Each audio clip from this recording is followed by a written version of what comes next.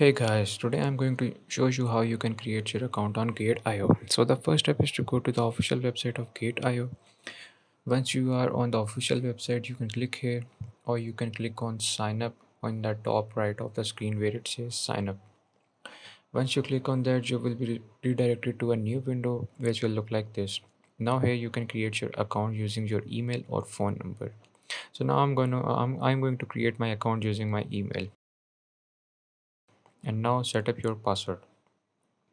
And then accept your user agreement and then click on sign up and now we have to wait.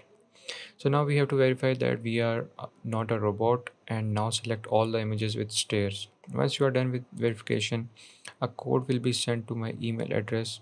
So now this is what the email will look like. Now i'm simply just gonna copy this code and paste it right here so now our gate.io uh, io account will be created. So that's all. By following these steps you can also create your gate.io account